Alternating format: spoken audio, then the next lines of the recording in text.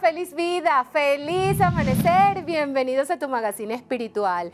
Hemos estado conectados con entrevistas y herramientas del 2022 que fueron bastante bastante positivas, bueno, como todas las del magazine espiritual, pero justamente esta es una herramienta de crecimiento personal, gestal, eneagrama, una entrevista que vivimos, que sentimos en el 2022 con Luis Núñez, gestaltista, que nos lleva a entender de qué estamos hechos, cómo son las emociones, cómo las vivimos, cómo es nuestra personalidad.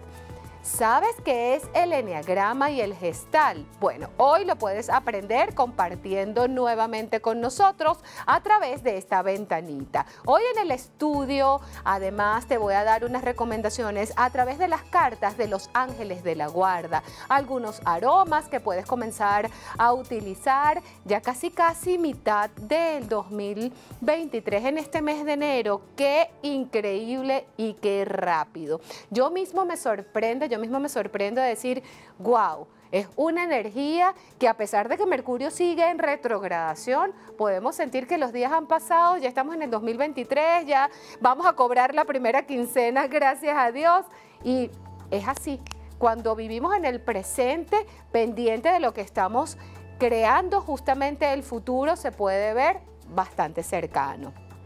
Hoy, con la energía con la que estamos viviendo en este día, aquí y ahora, 12 de enero del 2023, podemos comenzar a entender que todo en la vida debe ser una balanza. Y si se hace en equilibrio y sin extremos, las cosas fluyen mucho más rápido y se abren los caminos a través del dinero.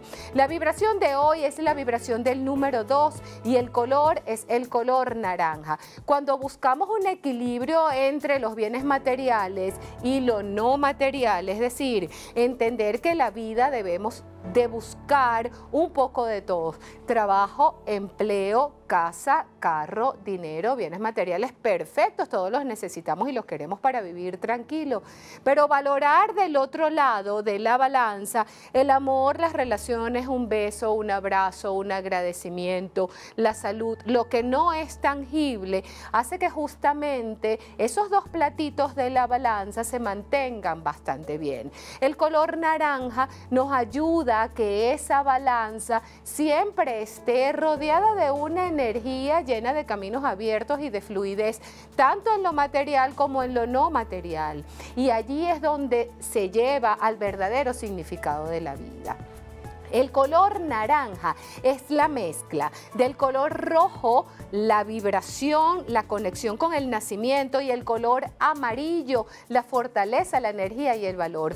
Cuando esas dos energías de ese cromo se unen, justamente crea el color naranja que te dice, tienes de todo, disfrútalo, agradecelo y sigue abriendo caminos. Por eso hoy es un día para que tengas consciente cómo está tu estado financiero, cómo estás a través del amor, cómo estás a través del acompañamiento de personas valiosas en tu vida, cómo estás de salud, estás disfrutando y justamente vives consciente de eso, si no lo estás, es tiempo para realizarlo. Acompáñame a hacer esa afirmación de esa balanza justamente.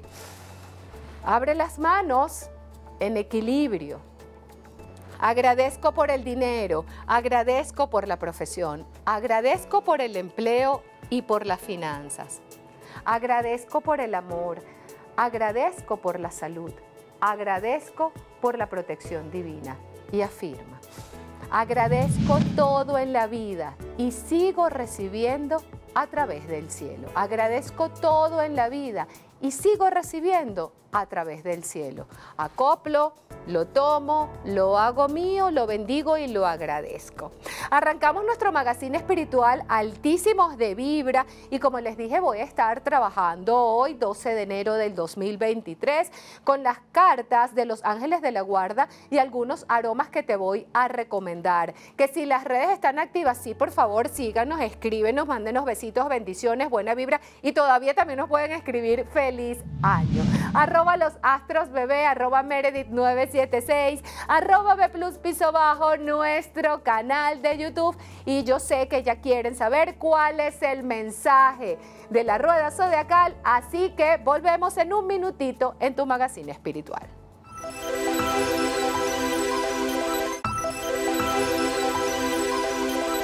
Cumpleañero del día, felicidades, bendiciones y muchísima luz para ti. Hoy estoy trabajando con las cartas de los ángeles de la guarda y el mensaje para ti dice, en estos momentos la vida va a ser maravillosa contigo. ¿Por qué? Porque el trabajo que has hecho a través de la espiritualidad te está dando las recompensas que te mereces. Comienzas a sentir paz, comienzas a sentir satisfacción, comienzas sobre todo a vivir momento a momento. Si eres el cumpleañero del día, se abren infinitas posibilidades para ti, para que justamente entiendas de que lo has logrado. Los ángeles de la guarda te están dando asistencia en estos momentos para que tengas un poco de serenidad, de respiro a través del amor, la salud, la prosperidad.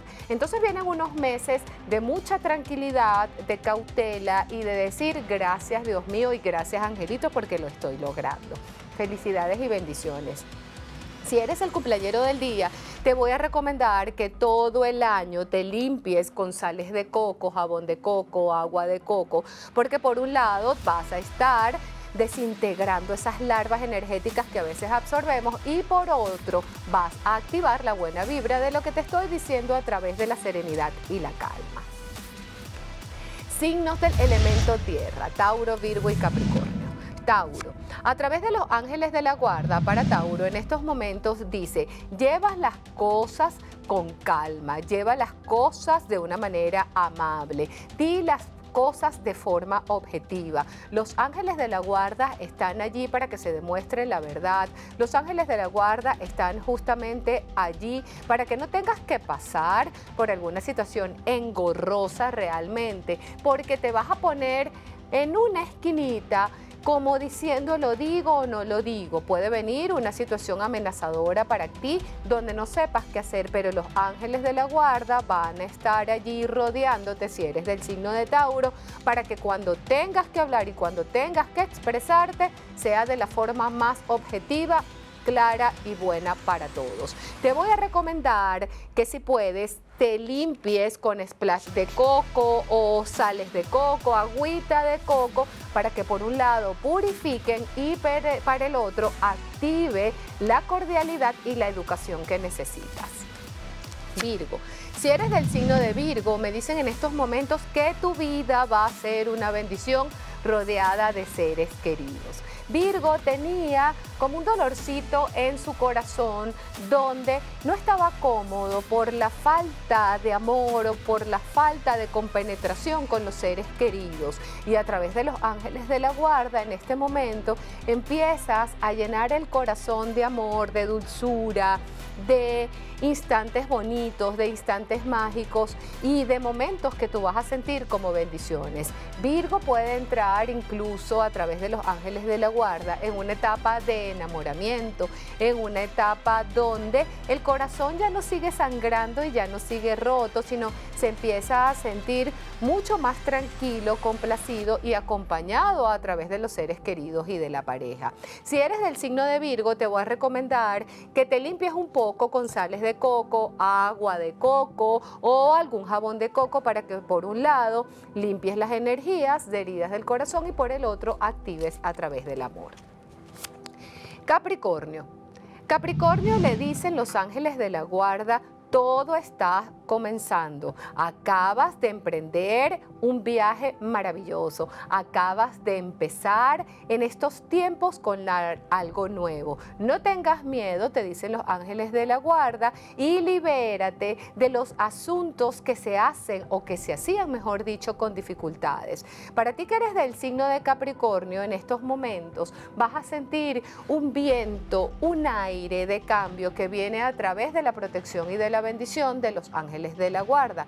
Por eso a los capricornianos en estos momentos eh, hay como una, una sensación de que están acompañados y hay una sensación de que justamente ahí hay una energía donde se abren oportunidades muy bonitas y que los ángeles de la guarda no te van a dejar solos ni de noche ni de día. Si eres del signo de Capricornio, recuerda hacer frecuentemente esa oración del ángel de la guarda.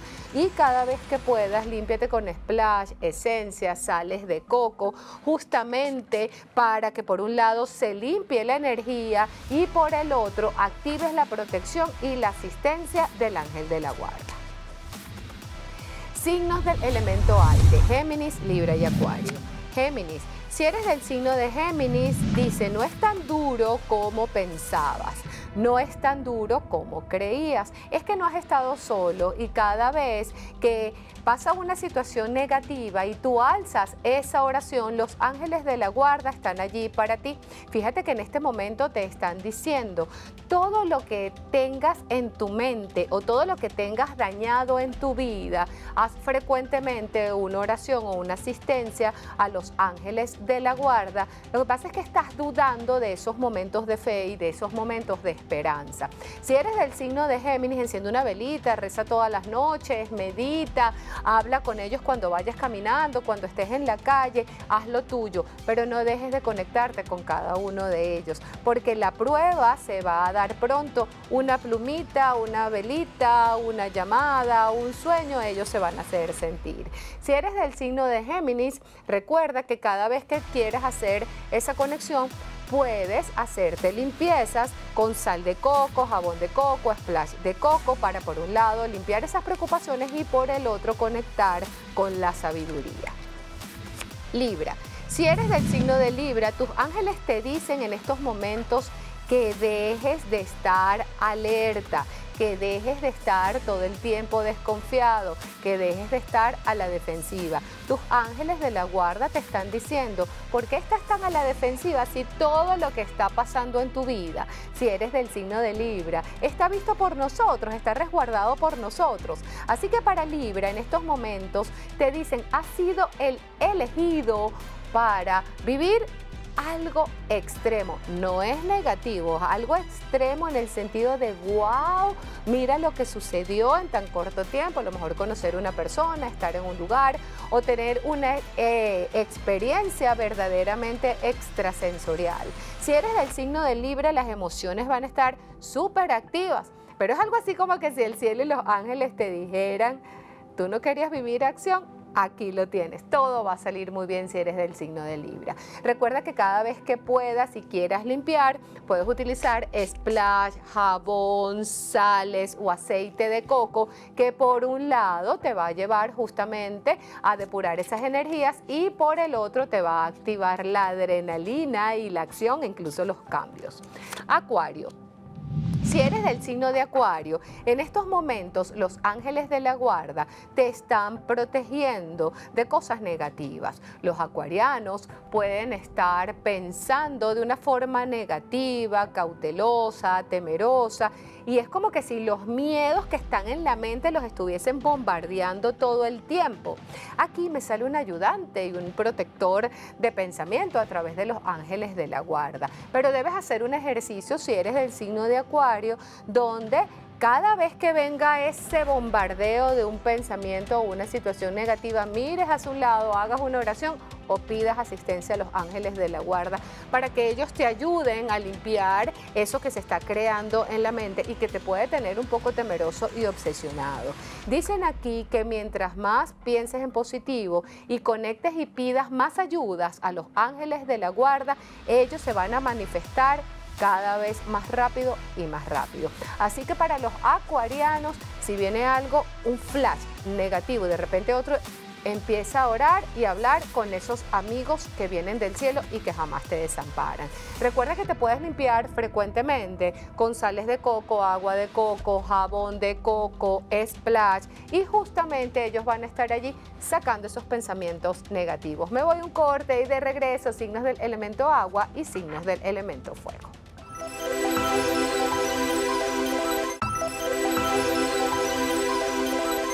Las redes siguen activas, arroba los astros bebé, arroba Meredith 976, arroba B plus piso bajo y nuestro canal de YouTube. Signos del elemento agua, cáncer, escorpio y piscis. Cáncer. Si eres del signo de cáncer, me hablan en estos momentos que tus ángeles de la guarda están tratando de sanar el corazón de en estos tiempos algún tipo de tristeza o desencuentro. Sabes que si eres del signo de cáncer, esta carta del dos de pensamientos dice, es que vienen distintas versiones de distintas personas y al final la única respuesta es la que va a estar en tu corazón. ¿Por qué? Porque los ángeles de la guarda te van a estar ofreciendo una absoluta absoluta verdad a través del amor. Ojo, si eres del signo de cáncer, esto aplica para que te enteres cosas en el trabajo, para que te enteres cosas en la familia, para que te enteres cosas a través del amor y que quizás puedas estar un poco confundido, pero los ángeles de la guarda te van a hacer entender todo desde tan adentro, desde las entrañas que aquí no se van a cometer errores porque vas a sentirte 100% seguro si eres del signo de cáncer. Aquí dice, en el fondo, tú sabes lo que tienes que hacer. Lo que pasa es que tu mente te puede estar traicionando para que no lo veas con claridad. La asistencia de los ángeles de la guarda en estos momentos te está diciendo, ¿Y qué tal si te vas solo a un lugar, te quedas en silencio, cierras los ojos y te abres a escuchar las respuestas que nosotros te vamos a dar a través de tu alma? Va a ser muy efectivo. Si eres del signo de cáncer, puedes limpiarte con sales de coco, jabón de coco, splash de coco, para quitar esos procesos de la mente y que puedas sentirte eh, justamente con lo puro de tu alma. Escorpio. Si eres del signo de Escorpio, viene un tiempo de alegría y de gratitud. Aquí, a través de esos mejores amigos, a través de esas personas especiales en tu vida, que aunque no sea familia justamente de nacimiento o de sangre, se han hecho parte de tu vida, vas a recibir momentos de alegría. Así que para los escorpianos las tristezas se dejan por un momento de un lado y las malas noticias también y los pesares también. Y los ángeles de la guarda te van a, te van a hacer entender que también existen los ángeles terrenales que te dan la mano, en los que puedes confiar, en los que puedes ver la vida a través de un lente alegre y amoroso. Me dicen que en estos momentos te están diciendo que este aprendizaje que puedes estar llevando ahorita, si eres del signo de Escorpio, es para que veas lo importante de las cosas a un futuro. Si te quedaste sin nada alrededor, ya sabes que puedes contar con esas personas especiales que del cielo, de los mensajeros de Dios, te los están pintando como ángeles terrenales. Así que alégrate por eso. Si eres del signo de Escorpio, puedes limpiar tu casa, puedes regalarle a esos amigos algún splash, algún aceite, alguna sal de coco, limpiarte tú con eso si te has sentido triste, porque por un lado te va a hacer la liberación y por el otro te va a traer también alegría. Piscis. Si eres del signo de Pisces, hay una carta de prosperidad que dice, te ha salido un comodín de la buena suerte a través de los ángeles de la guarda. Los ángeles de la guarda y los querubines están actuando a tu favor porque ya es hora de que los proyectos de vida cambien. Ya no puedes seguir en estos momentos justificando, aceptando todo.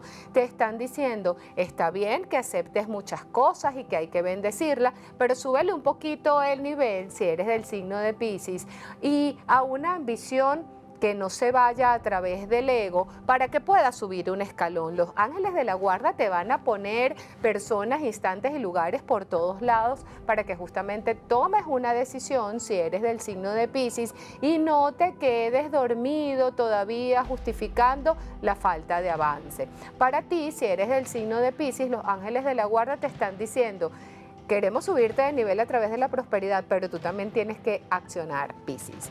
Puedes limpiarte frecuentemente con splash de coco, sales de coco, pidiendo limpiar los bloqueos a la prosperidad y a la abundancia y diciéndole a los ángeles de la guarda, ya estoy listo y preparado para avanzar a través del dinero y de la profesión.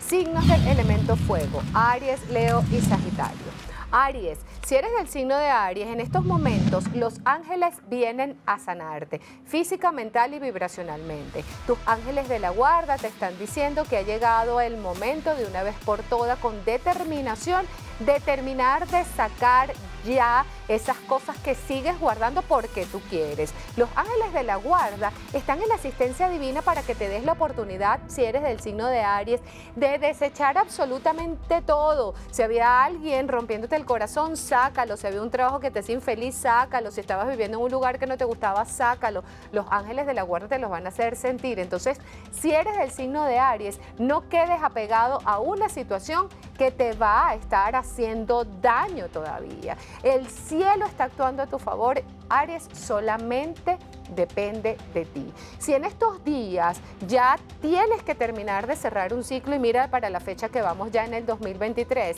límpiate con splash de coco, sales de coco, agua de coco, libérate por completo y di por favor definitivamente adiós, porque todo el cielo, si eres del signo de Aries, está actuando a tu favor.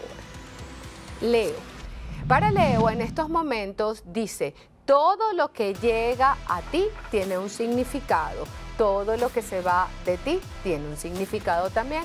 Para el signo de Leo, los ángeles de la guarda les están haciendo básicamente como una reestructuración de vida. Imagínate que los ángeles de la guarda en este instante están como limpiando tus espacios, tu cuarto y tu vida. Esto sí me sirve, esto no me sirve, esto lo regalo, esto lo dono.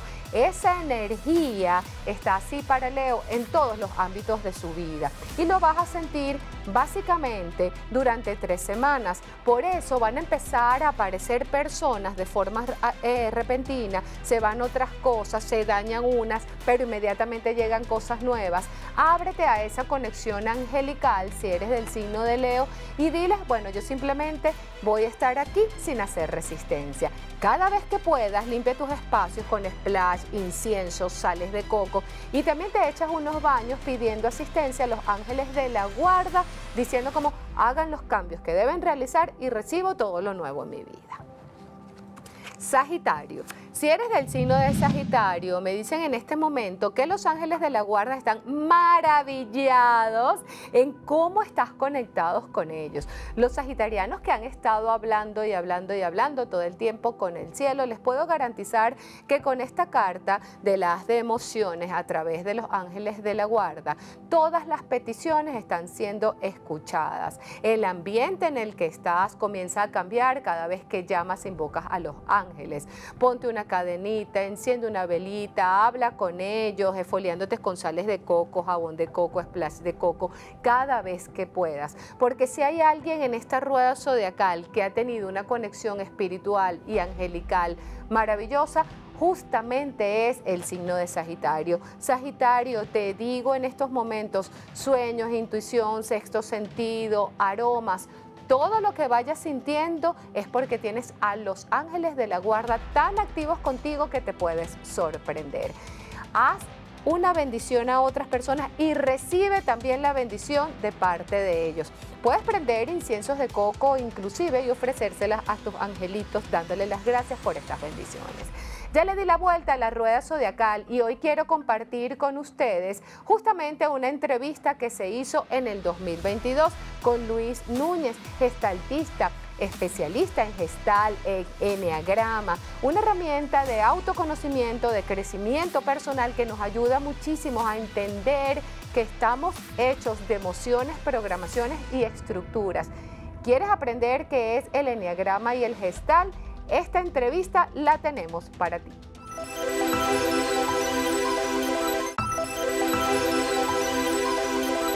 Ya le dimos la vuelta a la rueda zodiacal y este tema es maravilloso porque nos ayuda a identificar las heridas, las cicatrices, las programaciones y quién sabe qué más.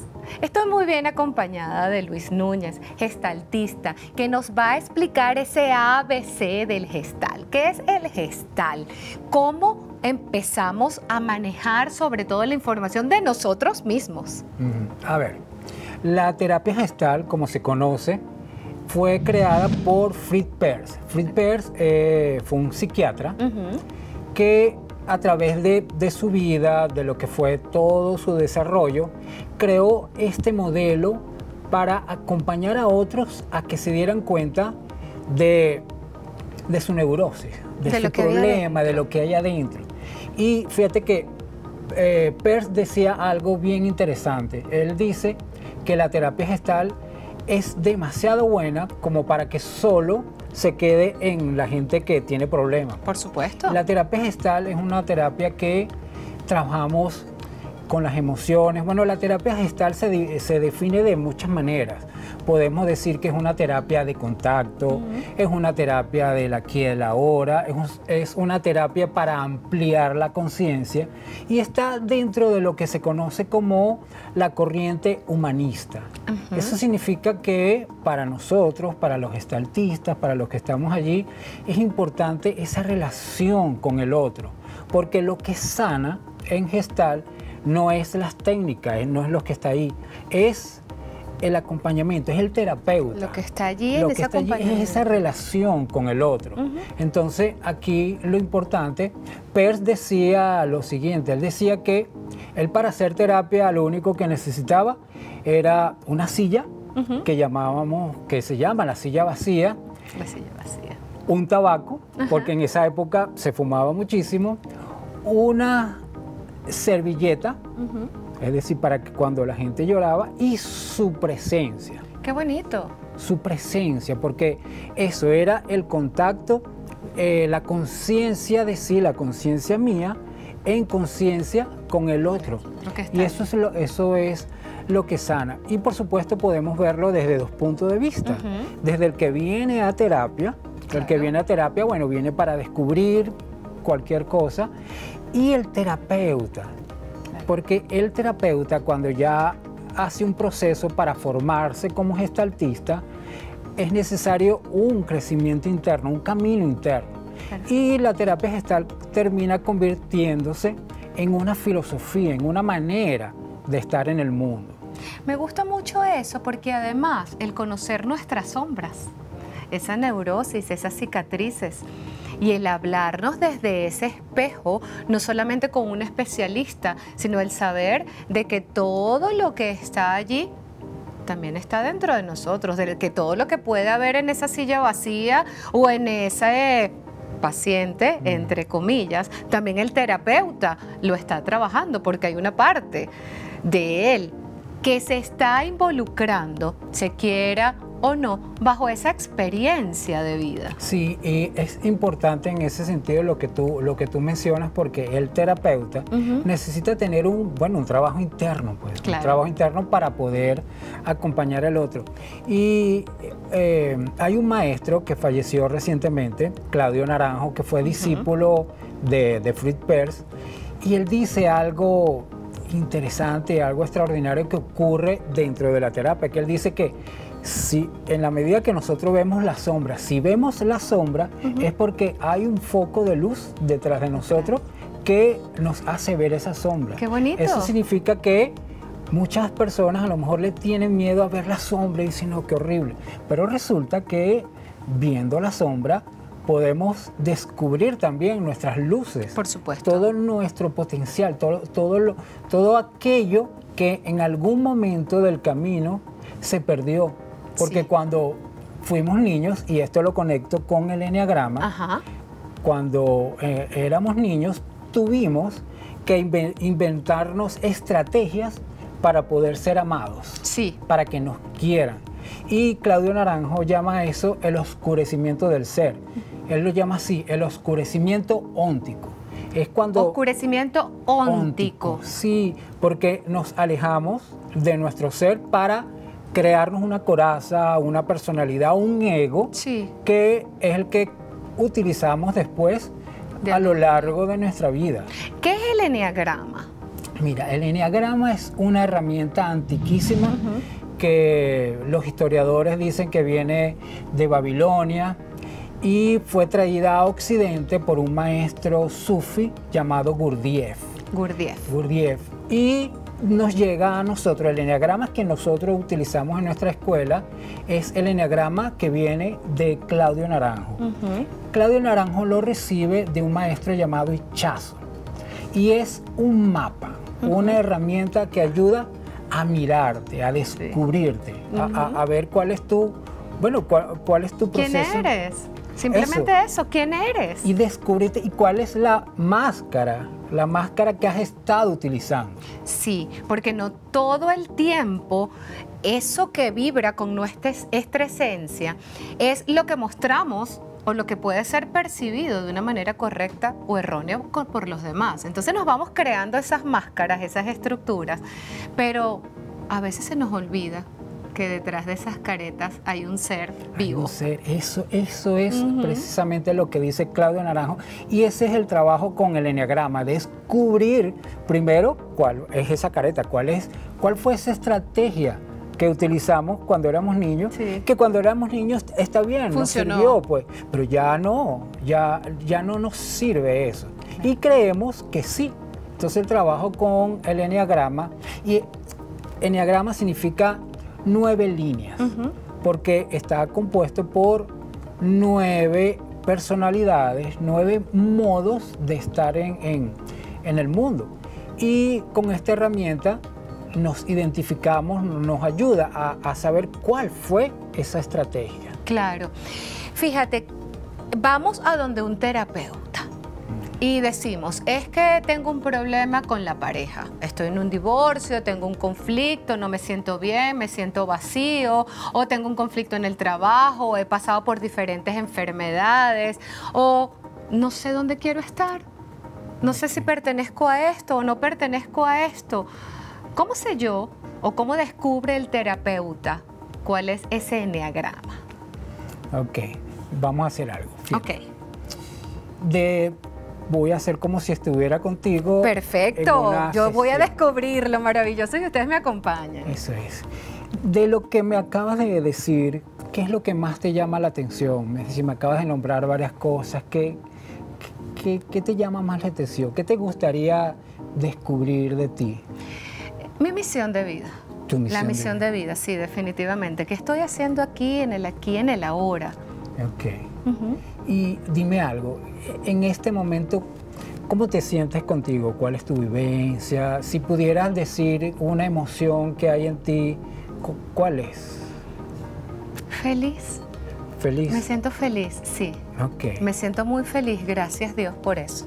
¿Y qué te da felicidad? ¿Qué, La familia, mis hijos, mi esposo, mi familia, la casa, el llegar y saber que ellos están allí. Wow, eso me crea una felicidad increíble. Ok. De hecho, te lo digo, es así como... ok, mira, vamos a hacer algo. ¿Me sigues? Sí, claro. Ok, fíjate, voy a utilizar aquí estos cojines que están aquí.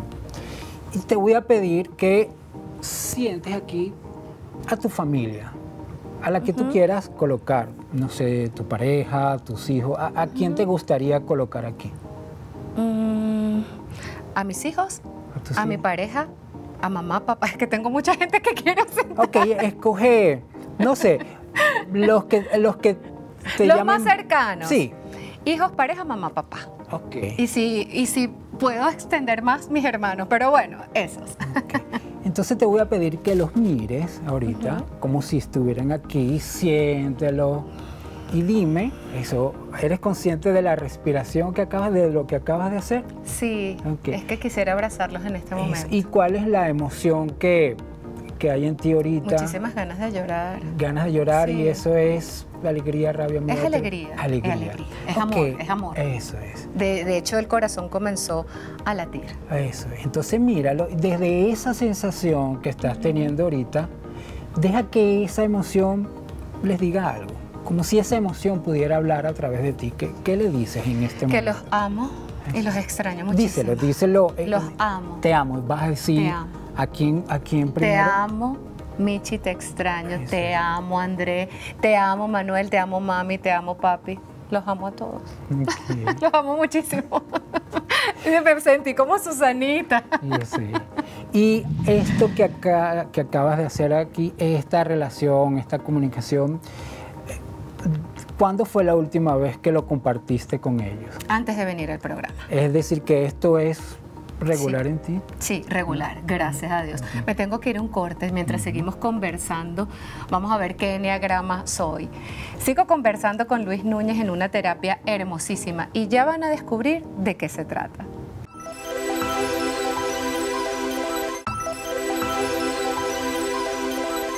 Yo sigo conectadísima con Luis Núñez, gestaltista, y estamos en plena terapia, en plena vibración. Y tú me decías esa última, me hacías esa última pregunta, ¿desde cuándo no se los dices? Yo te decía desde esta mañana antes de venir al programa, gracias Dios por eso. Bien, mira, a través del enneagrama tú puedes, bueno, descubrir un poco cómo, cuál es tu manera de estar en el mundo, ¿no? Y fíjate, te voy a decir, vamos a hacer un vuelo rapidito por cada uno de los eneatipos, que es como se Eneatipos. conoce. Sí, así se conoce cada uno, que son nueve. Ok. Eh, comenzamos por el eneatipo 1, que la característica es la perfección. Son perfeccionistas. El, el eneatipo 1 le gusta que todo esté perfecto. En orden, en detalle. En orden. Cuando tú llegas a casa de un uno, todo está bien puesto y el uno quiere que el mundo entonces también funcione de manera perfecta. Perfecto. Así. Y eso es un problema, pues eso se convierte en un problema. Sí.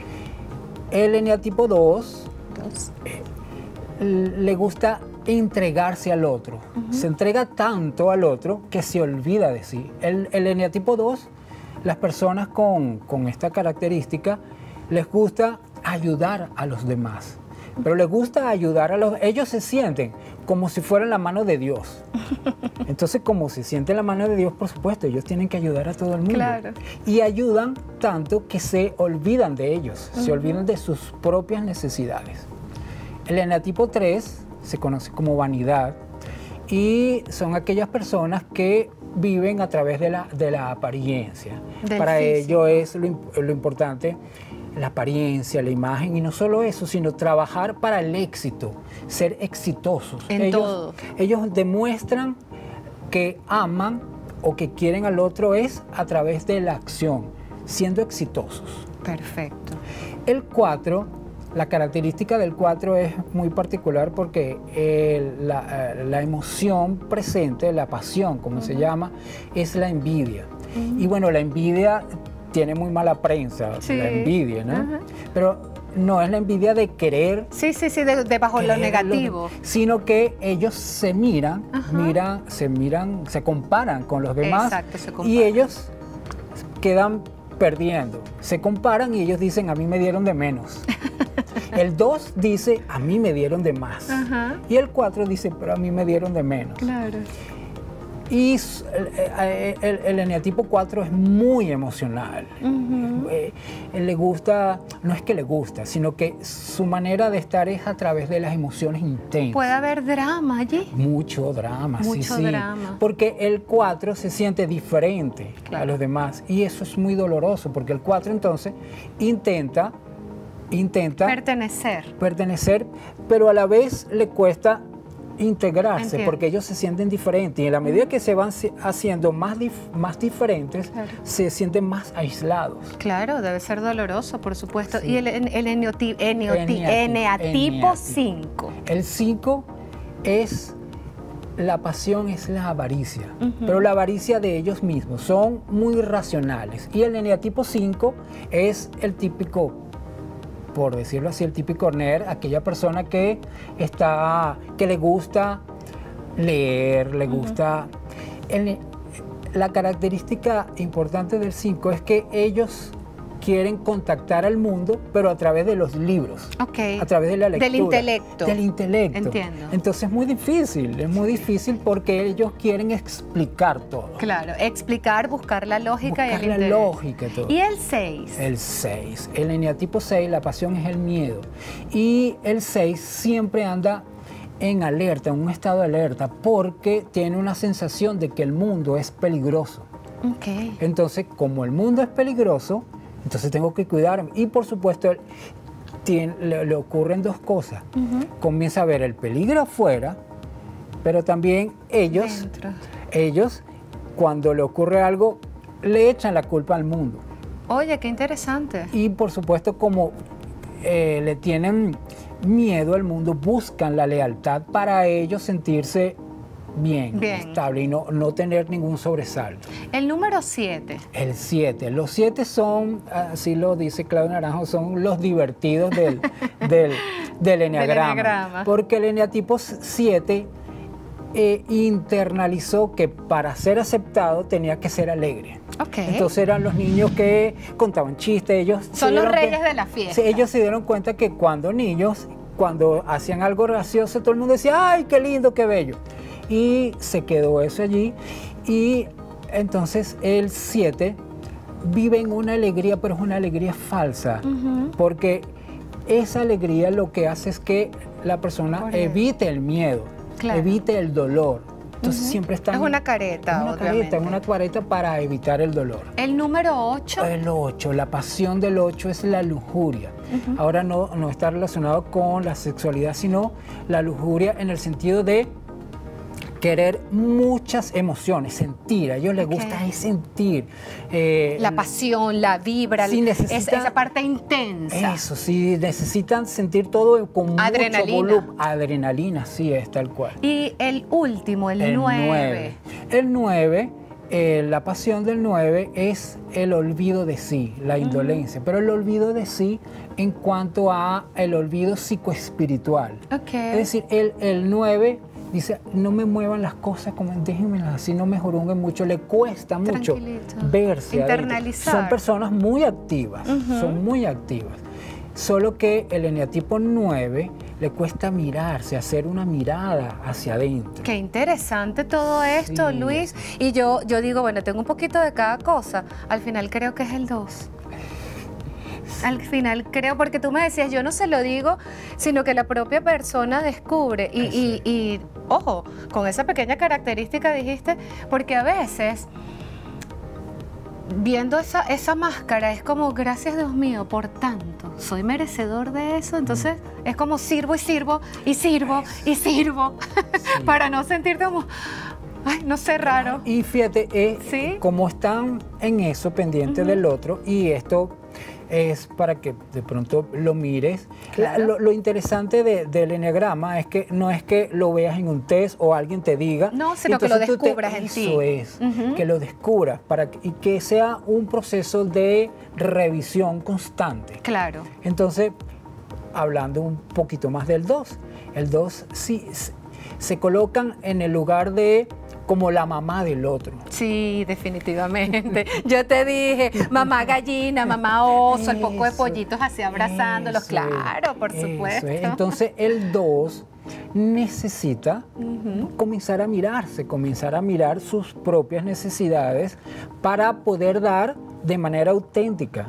Porque cuando da, en muchos casos, es para que los amen a ellos también. Claro. Ellos saben que dando Recibes también van a recibir, pero como no lo reconocen, les cuesta mucho pedir.